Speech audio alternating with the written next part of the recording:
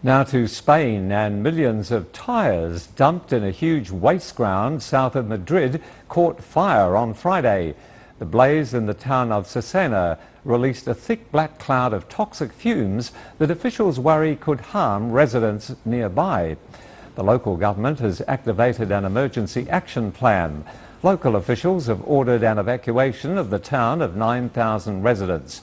People will be taken to a sports centre and several schools while the fire is being tackled.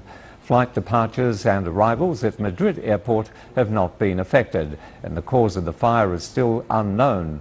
But investigators believe the blaze was started deliberately early on Friday.